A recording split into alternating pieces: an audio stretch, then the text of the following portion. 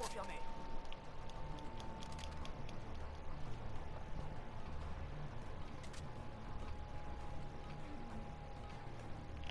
Ça va chauffer. Pas de quartier. Les ennemis dans la...